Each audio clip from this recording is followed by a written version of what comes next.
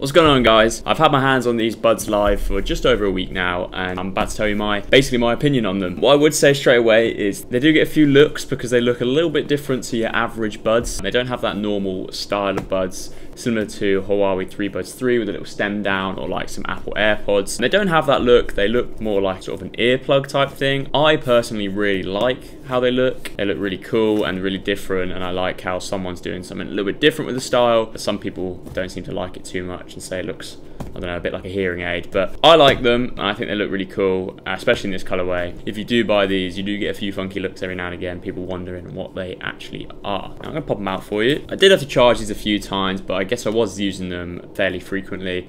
I had them on sort of doing work and I used them over the weekend and I used them in the gym as well and they did not fall out. But that being said, I did change the tip size to the larger tip size just because I felt like they felt a little bit more secure inside my ear and I wasn't too sure what to expect, especially with one this size or how they would work because obviously with the little stem that you do get I don't know they feel a little bit more secure whereas these I wasn't too sure they were going to fall out of my ear slightly. So I opted to put the bigger one in and just take that risk. If you turn on these sort of active noise cancellation it does seem to like pull them in slightly and they feel a little bit more secure there. However for what I would say is for extended amounts of time with that noise cancellation on it can get a little bit uncomfortable. It can feel a bit like when you're on a plane and taking off your ears feel a bit blocked. So there is an option within the app that comes with this to sort of relieve some of that pressure, Three your ears up, and I would find myself using that sort of every hour-ish if I was using these for an extended period of time. I would have to relieve that a little bit, or just take them out, put them back in, that works as well. I did also find myself using the hand gestures and it is fairly accurate I would say. It does struggle a bit with sort of the double tap so you kind of have to tap it a little bit slower than I was expecting but it does work once you get the hang of it. It's just a little bit different to how other headphones do it. Now I've never used some Samsung earbuds before so I'm not sure if that's something that people are used to with Samsung but it is different to how other earphones that I've used like the Honor Choice ones, the Realme Buds Q, they sort of are a bit quicker. Um, you have to tap these fairly slowly to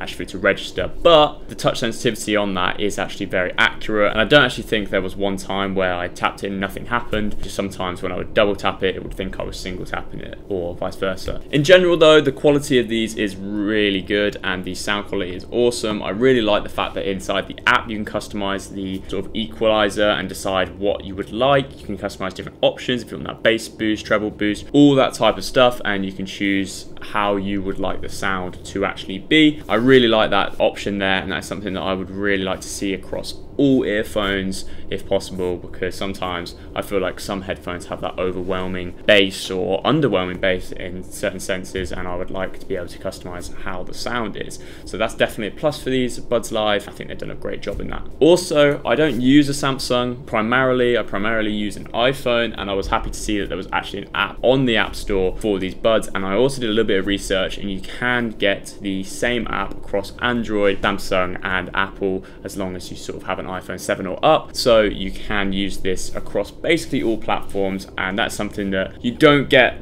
with all types of headphones and that's something that I do like about these Samsung Buds Live. The call quality is also really good. I was worried that because of the way that they are, there's no microphone on the stems. Again, call quality wouldn't be too good. I would say if you're in sort of a loud area or you're walking or it's windy that these aren't the best for call quality just because the microphone is a little bit far away and a little bit tucked behind your head sort of. So I would say that if you are going to do a call or you are going to record a video, make sure you're in a quiet space or just pop them out. As I said, the battery is fairly good on these, I would say, and they charge up very quick. Also, they have that useful USB Type-C port here on the back, which I do like. Get a bit disappointed in some headphones that come with a micro USB port, so I was glad to see that this came with a USB Type-C, and also the overall quality of the case is very good and the quality of the device themselves is very high. I was very impressed with that. One of the major drawbacks that I would say is the price. Now, I have seen other earpieces that have got similar sounds to these and similar functionalities such as the Huawei FreeBuds 3 have a bit of a lower price than these. I believe right now on Samsung's website for 179 pounds, which I think is a little bit high in this market right now. And I do understand that this is a very premium product and they have very good functionalities and compatibility.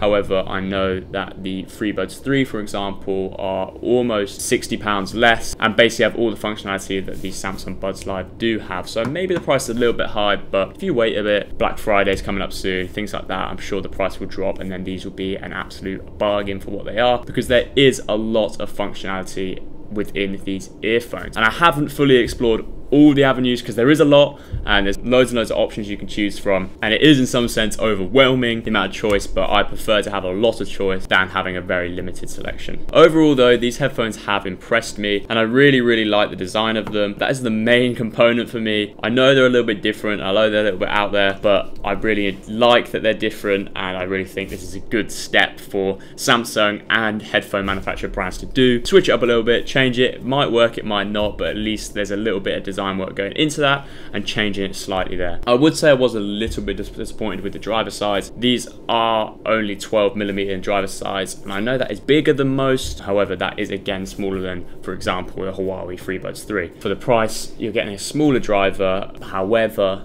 this driver is supposed to be more refined and better. I personally did not notice any difference. I did actually think the sound quality was extremely good. However, I have seen some reviews online with people sort of saying that it's not as good as it could be. And I know I've been mentioning a lot about the FreeBuds 3 and this is something that people have said to us. So we are going to do a comparison with these Samsung Buds Live to the FreeBuds 3 just because we feel like they are similar products with different pros and cons that basically deserve a comparison and we think would be very useful when people go to pick because they are very similar earphones. On the whole though, these are a solid 9 out of 10 and I would recommend if the price drops for anyone to buy them, I would just say currently that they are a little bit high in price for me. That being said, a great product. Thank you guys very much for listening to my one week review. If you have any questions about them, please let me know in the comments below and I'll be sure to get back to you. If you enjoyed this video and you like the style of video, make sure to hit that subscribe button below and we really appreciate it. Thank you guys for watching and I hope to see you in the next video.